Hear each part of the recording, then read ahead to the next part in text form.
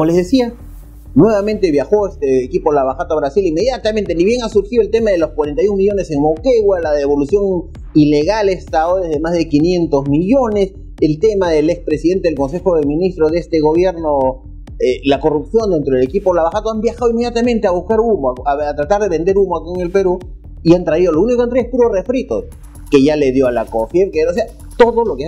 Los aportes de campaña, les he dicho mil veces, no son delitos, no eran delitos. La ley recién sale en diciembre del 2018 y se aplica recién para estas elecciones. O sea, eso no era, no era delito bajo ningún punto de vista.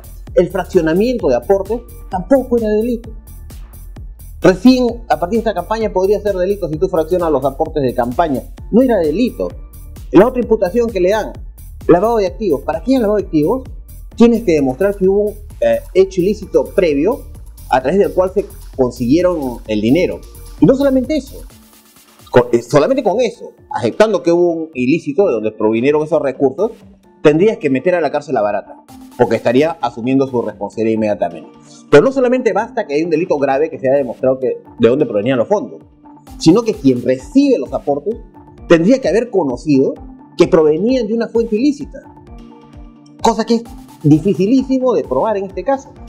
¿Ustedes creen que Pedro Pablo Cuchillo ha recibido, que, que Keiko Fujimori sabían que había una caja 2? ¿Alguien sabía creo que había una caja 2 que era de corrupción?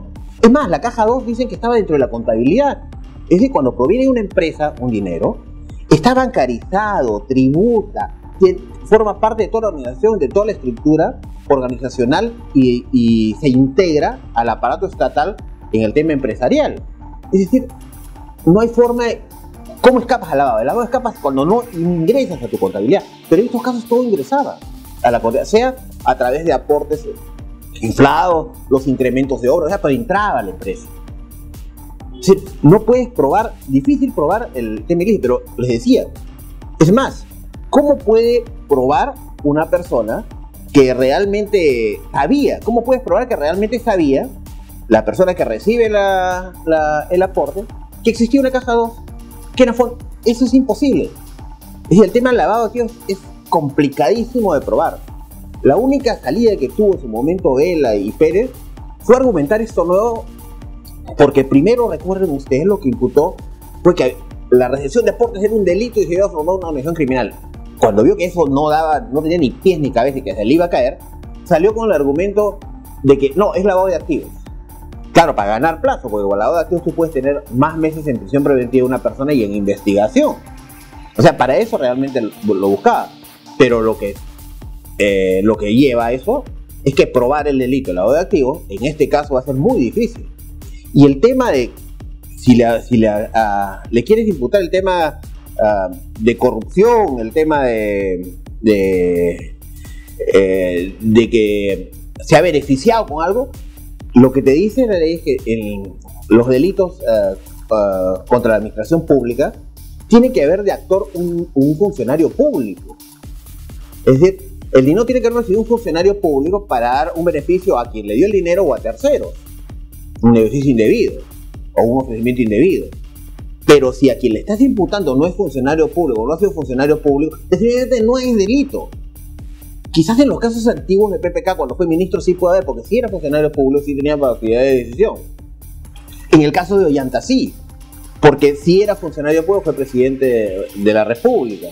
En fin, en otros casos sí puede ser, por ejemplo, en el caso de Keiko Fujimori, no fue funcionaria pública, no procede un delito de corrupción de funcionarios. No procede, no hay. Entonces se está quedando sin, sin, sin está sufriendo el proceso al menos de, de Fujimori el efecto alcachofa. Se le están cayendo poco a poco las hojas y se va a quedar en algo que en realidad no le va a servir. Se va a quedar desmembrado totalmente. No hay posibilidad de que pueda probar que, que los aportes eran ilegales, porque no, los aportes en ese momento eran totalmente legales, aun cuando no los declarara. No puede haber corrupción de funcionarios porque nunca fue funcionaria pública. Y lavado de activos tendría que demostrar que sabía eh, quien recibió el aporte que realmente provenía de algo ilícito, cosa que nadie sabía en ese momento, nadie sabía que existía caja 2 ni nada de esas cosas. Entonces, realmente el tema se le desmorona totalmente. Y arguir que hubo una organización criminal, pues eso ya es, eh, eso ya es de locos, ¿no? O sea, alguien tiene siquiera la posibilidad de pensar que alguien forma un partido para cometer delitos, eso significaría que todos los inscritos dentro de un partido político formarían parte de una banda, de la organización. Y por tanto tendrías que procesar, no sé, 100 mil, 50 mil, 300 mil, según la cantidad de afiliados que tenga un partido político. Eso es totalmente deleznable. Eso se cae de manera muy, muy fácil. Y el tema también, les repito, lo de la semana pasada, el tema este de las prisiones preventivas y este abuso, ya también los jueces y fiscales se están sentando en los plenos jurisdiccionales y en las resoluciones del Tribunal Constitucional. Cada uno dice, el pleno, si bien el pleno, la Corte Suprema ha dicho tal, yo digo tal cosa, y se acabó, adiós pleno jurisdiccional. Lo mismo que está ocurriendo en el Ministerio Público, es que un fiscal provincial desautoriza a un fiscal superior o no le hace caso o no respete el orden jerárquico entre la institución. Lo mismo está ocurriendo en el Poder Judicial. Jueces que deberían ser jueces garantistas, porque el juez les dije la semana pasada también, no es un persecutor, no es, no es el que persigue, es la función del fiscal. El fiscal sí puede pedirte, como le decía, que, que lo extraditen, que lo encadene, lo que sea. Pero quien garantiza que se haga justicia y que no se cometa es el juez. Pero si el juez se convierte también en un fiscal, realmente es, eh, estamos rompiendo todo el proceso penal, ¿no? Se va a caer este proceso penal si estás actuando. Es más, a través de estas resoluciones que dictan prisiones preventivas, lo que estás haciendo es prejuzgar prácticamente, porque en realidad hace una valoración del delito absoluta. Prácticamente es una sentencia. Y la percepción de la población es delicada. Porque la percepción cree que realmente la prisión preventiva ya es, es, eh, acredita un delito. Y no hay ningún delito, solamente una investigación. Es por eso que la población cuando no dictas una prisión preventiva, inmediatamente sale a decir, ¿cómo es posible que hayan declarado a esta chica que atropelló a, un joven totalmente repudiable y todo?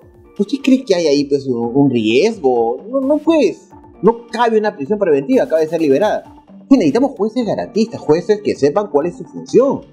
No son fiscales, si quieren ser fiscales, postulen a la fiscalía.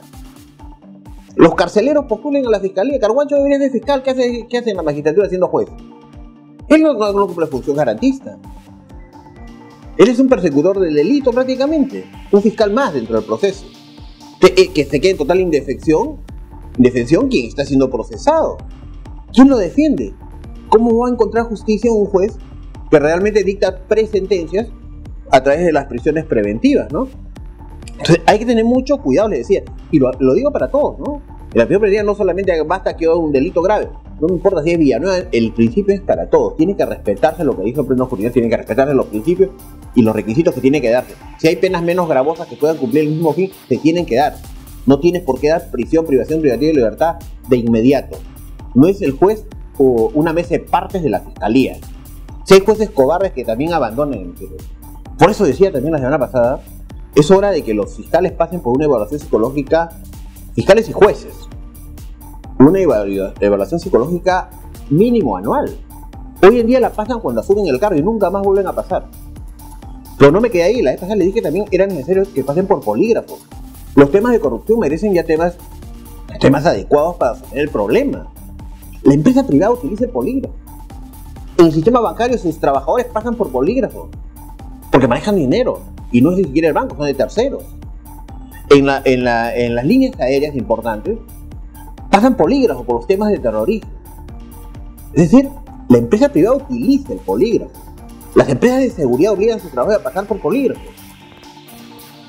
Y quien administra justicia, quien de, quien depende la libertad de una persona, depende la vida de una persona como es un juez, ¿por qué no puede pasar polígrafo? El que se oponga será aquel juez que sí tiene algo que ocultar que sabe que no pasaría una prueba de polígrafo por actos de corrupción. Entonces, hay que pensar, ese nuevo gobierno tiene que pensar seriamente.